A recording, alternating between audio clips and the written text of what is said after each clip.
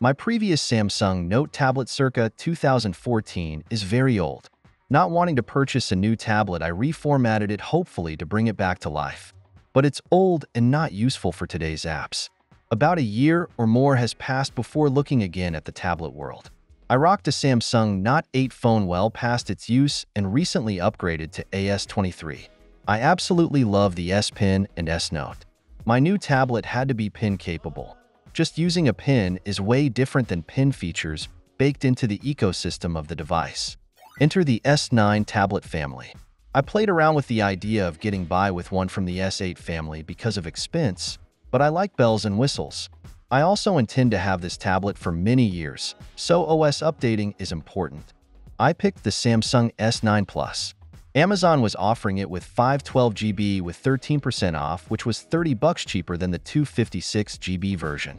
I've played the available built-in storage game before. I'll be using this tablet for a variety of functions, so having the larger space for apps and all of my projects will be nice. Test. First, I charged to full capacity before turning it on. I then used Samsung's transfer tool and copied my apps from my S23 to the S9 Plus tablet. This worked without a hitch.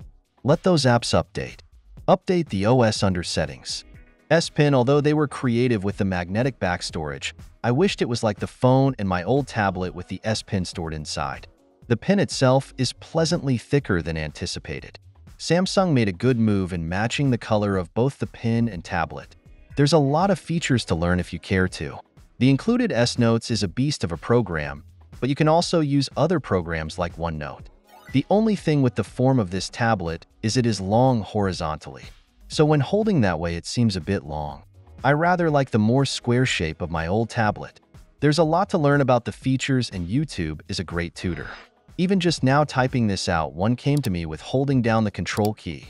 It lights up the letters Y, A, Z, X, C, and V which are shortcuts for specific functions. Very cool. It is pricey, but it is a premium feature tablet. You can get cheaper with going with lesser specs.